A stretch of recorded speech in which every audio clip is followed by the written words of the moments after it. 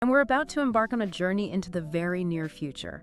A close look at the Future City Pavilion at the upcoming Osaka Expo 2025. Absolutely. Think of it as our sneak peek at some really groundbreaking ideas. Super time lapse, 5 billion years, 5 meters high, 92 meters long. And the theme tying it all together is happiness. Exactly. It's asking, you know, what Society 5.0 mean for our happiness, but looking at it across all of history. Enigmatic 3D cubes. They apparently look three-dimensional when you get close. And what do they show? They're supposed to be a glimpse into daily life in Society 5.0. Things like life itself, mobility, how we get around healthcare, entertainment. They've built this shared cyberspace. Up to 120 people can go in at once and explore this 2035 future. Boats and wind.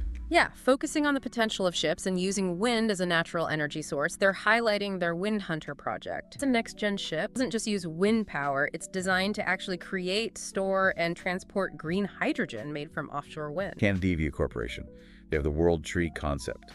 By creating this immersive realm where your personal recycling efforts are visually linked to Kanadevia's big decarbonization tech. Ah, so showing the direct connection between small actions and the big picture. Terraco Ltd, their idea is autonomous portable circulation technology, delivering resource energy anywhere. Yeah, the focus is resilience, self-sufficiency. Like mini ecosystems you can deploy. Kind of. Think resource independence, localized sustainability. Underwater construction. Yeah, specifically for disaster prevention and restoring nature, thinking about global warming impacts. Underwater robots. Exactly, but operated remotely from a safe office. This opens it up for more people to be involved involved. Kawasaki's tapping into that basic human urge to move, but linking it to sustainable mobility. Also mass transit options designed for comfort. Land, sea, air, the whole package. We hold the seeds of tomorrow. Right. They're stressing agriculture's vital role and how it needs to change. Change how? Their focus is planetary conscious food and agriculture in Society 5.0. Food that's